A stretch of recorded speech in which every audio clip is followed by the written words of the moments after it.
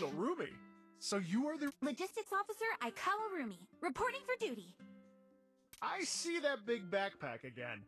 Let me guess what you've packed. Um, steamed dumplings, dehydrated veggies, cherry radishes. Food is very important for a long march. Of course I've packed plenty. But I also have something different for you. Look here. These photos. They were taken during the... That's right. These combat photos are all we have left from the war. HQ hopes they can help you find a way to defeat the Morden army.